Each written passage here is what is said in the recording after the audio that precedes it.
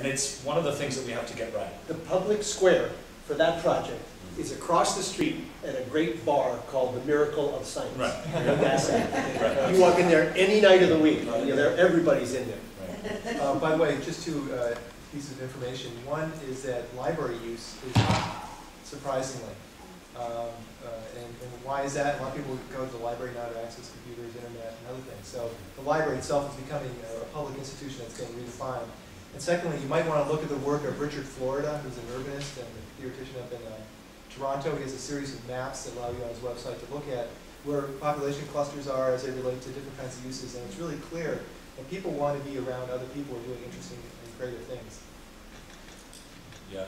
It- You know, uh, you know, there's somebody in the back where it's, Hi, my name is David Kelman. Many years ago, when I was David, in Chester, I second. was,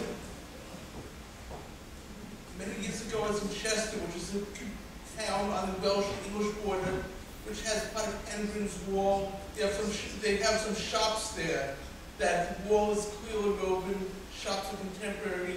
Runs in Jerusalem, they have a market, Roman marketplace, clearly reads as Roman marketplace, but contemporary.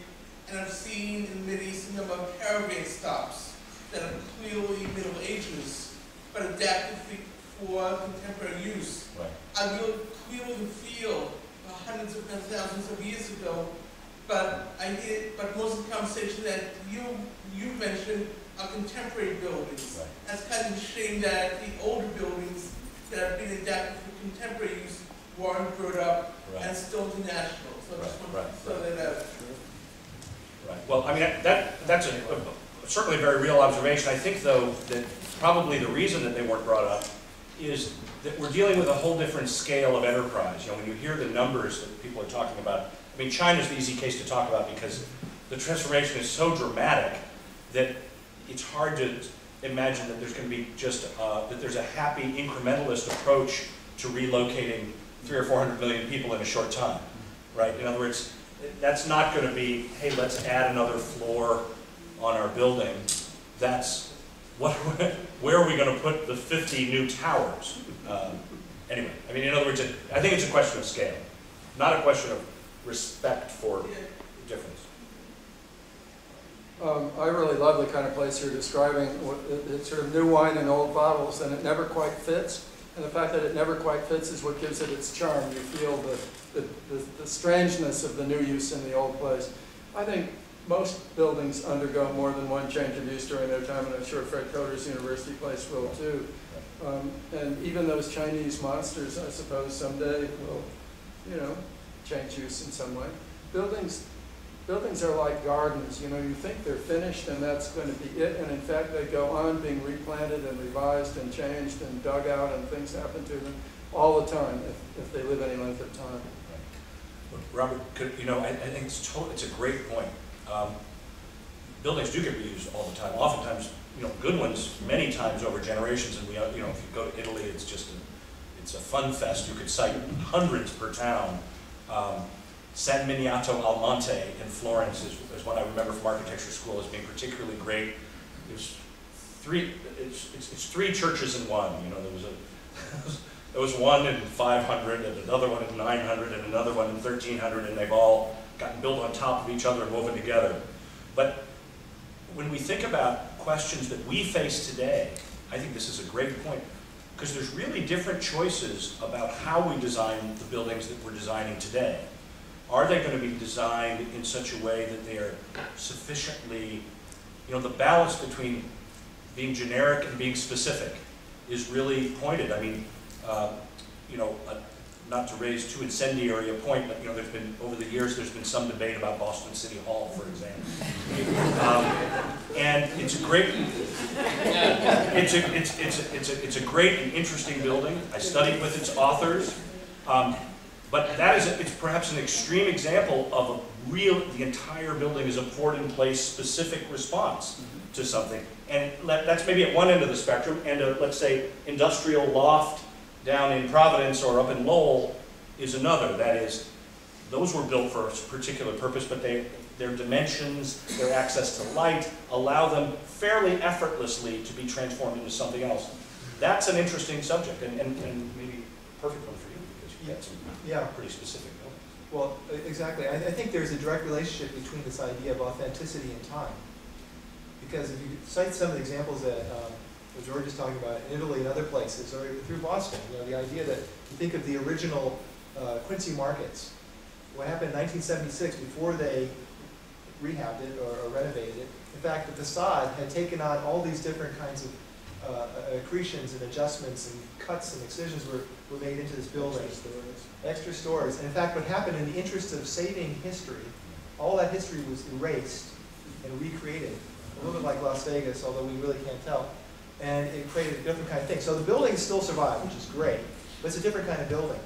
But the fact that that building had been uh, transformed by so many different people in different ways allowed us to see that time is irreversible, and that all the people and the actions that took place over time had a very specific sequence that created a history that connected us to all those different events in a different way, and connected us to a specific landscape.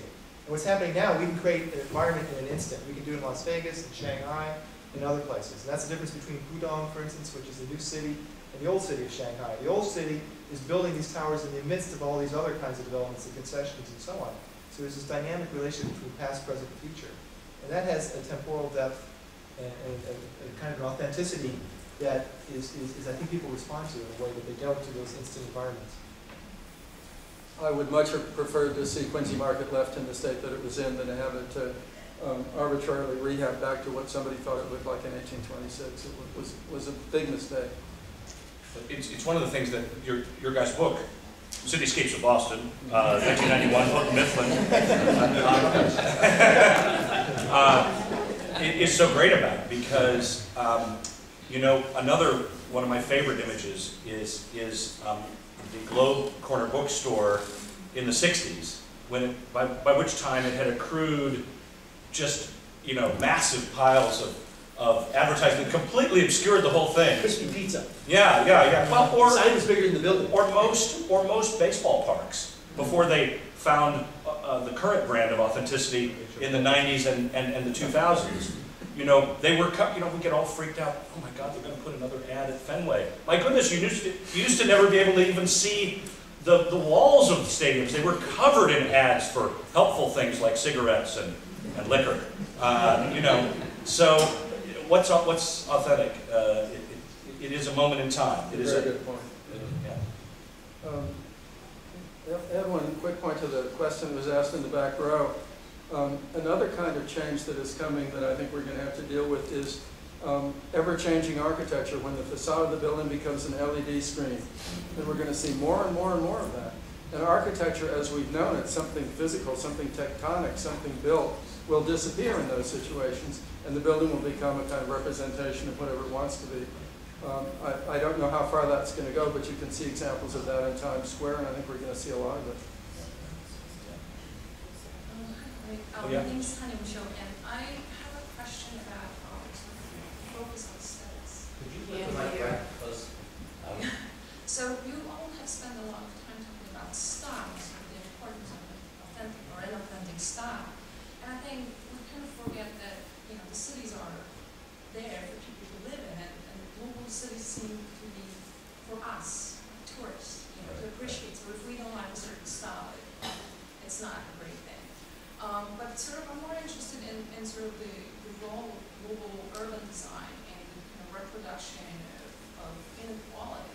And I'm thinking of people like Mike Davis who are sort of tirelessly, you know, looking at these patterns of, of, of global design on changing cities, not for the better necessarily, uh, but the destruction of public spaces, the ghettoization of different social classes. So I'm sort of interested if you how would you describe the global architectural trends from the point of view of people who actually inhabit the areas, for one, and if you have any model global cities? Well, uh, I think that's a a good question. I, I would actually argue, that I, I, I'm not sure we did use the word style. Um, I, I think maybe it might have been inferred, but uh, maybe the, the term instead is um, architectural experience. Because uh, the, the problem is, it, it, how do you begin to talk about this? I, I mean, if, not, I guess you did talk about international style Yeah. and others, and maybe there is this kind of internationalism that's been, a new internationalism that's been uh, perpetuated through the new digital medium. But I think if, if we think about it more as an experience, human experience, as it relates to place, it might redefine how we use material and all the other tools that we have available to create our environment. As for an example that's, a, a good example of city making, I think, that's, uh, is Malmo. Uh, they, they- they've recreated the, the harbor area, and they've looked at issues of sustainability, looked at local building typologies. Uh, it's- uh, no, um, in Stockholm, I'm sorry, in in Sweden, Malmo, Sweden. Um, and they looked at original harbor, and then re-inhabited and, and created a new kind of block structure, but also used contemporary means and, and, and methods to create this place. Well, And they built a bridge to Denmark too, which didn't, didn't hurt any. Um, I, I, I also would, you know, perhaps if we seem to have talked about style, that's not really what any of us is primarily interested in. And you mentioned the loss of urban space, uh, the enclosed, the city of rooms and corridors that we knew from the past, and that was demolished by the automobile.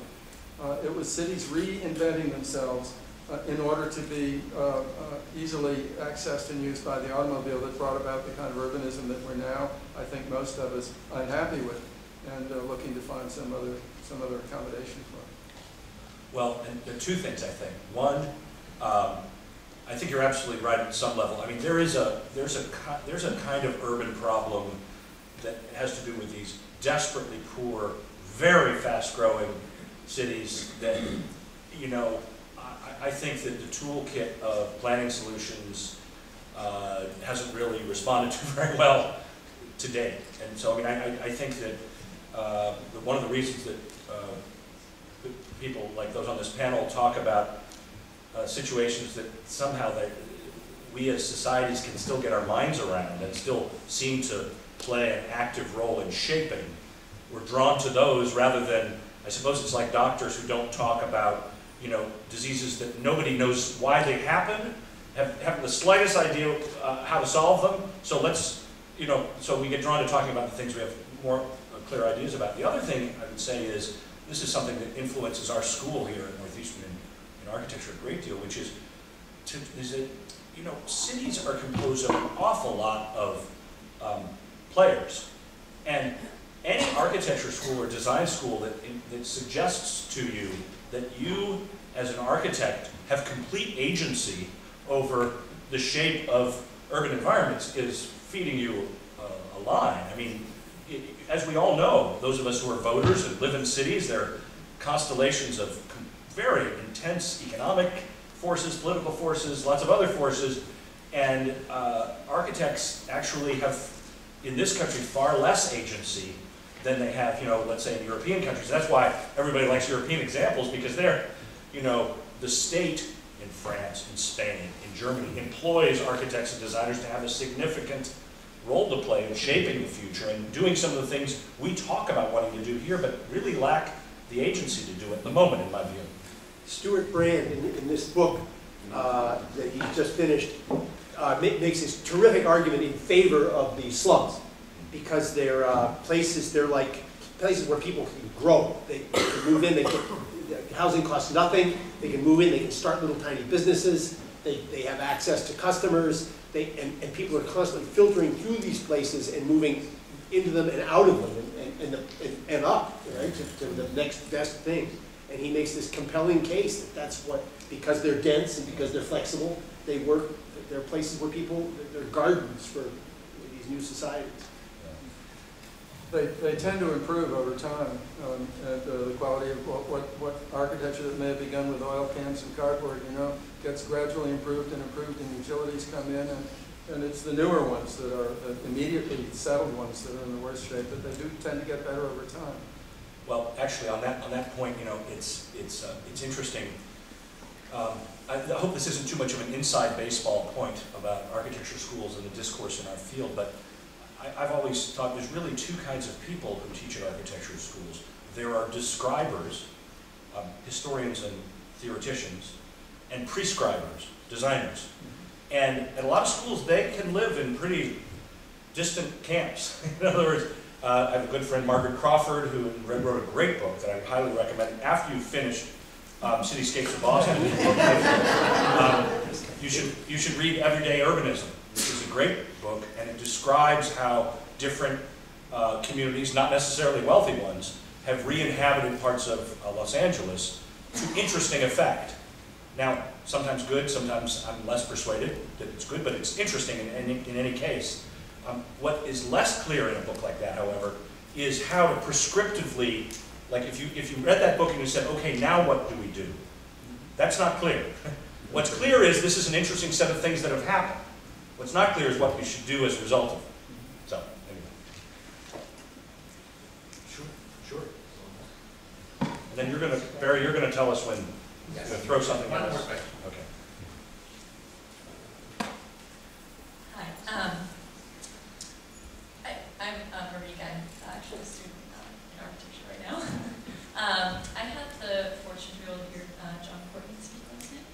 Um, and uh, one thing that I was sort of impressed by in his, um, in his talk just about his practice is that, you know, I think he was able to really have a pretty large impact, um, you know, what, you know, what sort of your opinion is, is another issue, but because he, um, was able to kind of innovate in the structure of his firm to be sort of an architect and one of the first sort of architects Uh, I'm, I'm sort of curious uh, if you guys have any thoughts on, um, on different ways in which architects can start to have more agency and maybe ways to innovate in actual architectural practice today to be able to.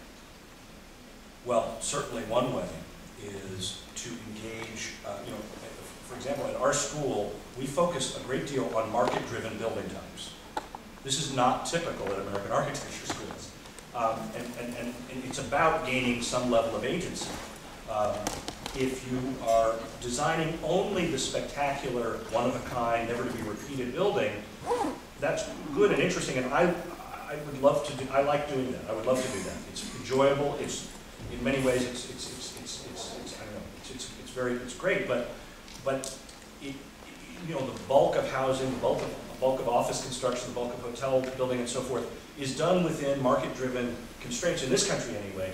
And so, one way for architects to gain agency is to maybe take a page from the John Portman playbook, um, uh, and, and really understand that innovation tied to value creation uh, is a really uh, potent uh, uh, force. If, if the only thing you're bringing to a client is, uh, is buzz, and don't get me wrong, buzz can be very powerful, and there are many branded, you know, Frank Gehry, if you tell somebody Frank Gehry's doing your building, your fundraising, at least in the past ten years, I don't know if it's still the case, would have gone up, because people would say, wow, that's really gonna be cool, it will distinguish us.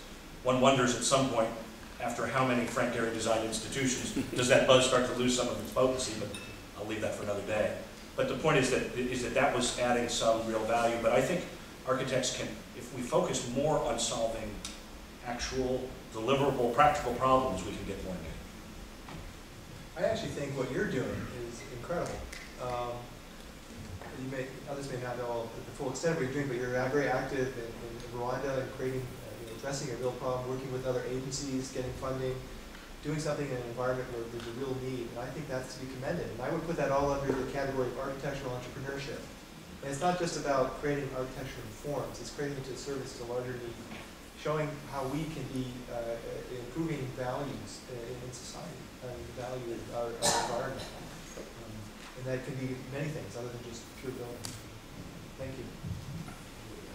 John Portman's buzz ended about 1980. And if you go to downtown Atlanta, you see one of the most horrible urban renewal areas in the history of the world. And I would add to that that architects as a subculture are not very good developers. I mean, it's not a natural mix of uh, activities. They're much better at doing a whole lot of other things, like being good citizens and getting involved in the planning commission and the, and the architectural review commission and the historical society, and every other way that they can bring their genuine abilities and knowledge to bear on the situation. And I don't think we do that anywhere near enough. I think we would all agree on that. Well, I think we could have another three hours, but we don't. So what I want to do is thank our marvelous group of people who joined us tonight. George,